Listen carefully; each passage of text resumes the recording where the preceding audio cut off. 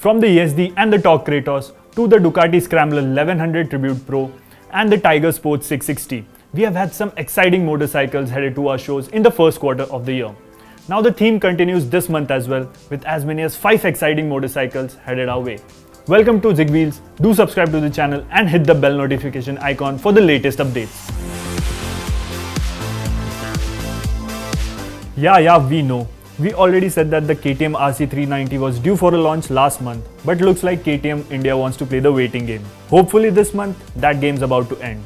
Now we have already seen what the RC200 has to offer with its updated chassis and the engine. And with that Manic 373cc engine, we can't wait to see what the RC390 has to offer. Now what remains to be seen is whether KTM India introduces the new RC390 with the adjustable suspension. And if that's the case, be prepared to shell out extra moolah for the new model. There's another orange beast headed our way this month and that's the updated 390 Adventure. Now the bike has already started arriving at dealerships so it won't be long before you can buy yours. For 2022, the bike sports new colors, a two-way adjustable traction control system and reinforced alloy wheels. Despite that, KTM has chosen to skimp on the adjustable suspension.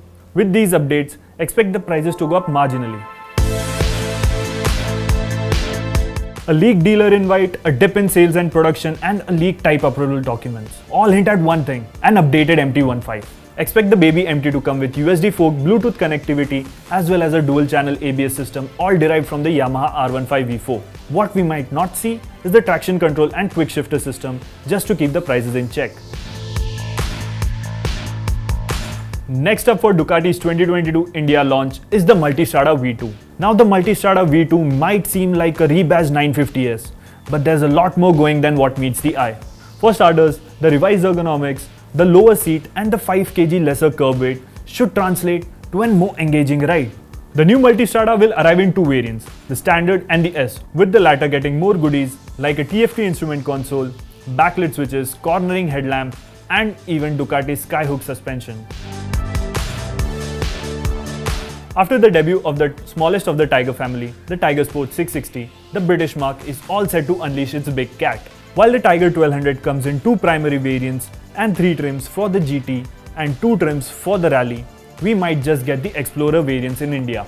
Triumph has been pretty vocal about the fact that it has the BMW R1250 GS Adventure in its crosshair with the new Tiger 1200.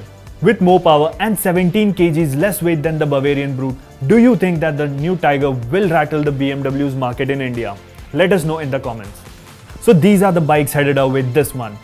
And if any of these bikes have been on your radar, now's the time to hit that bell notification icon and subscribe to Zigwheels for we have some exciting content lined up for this month.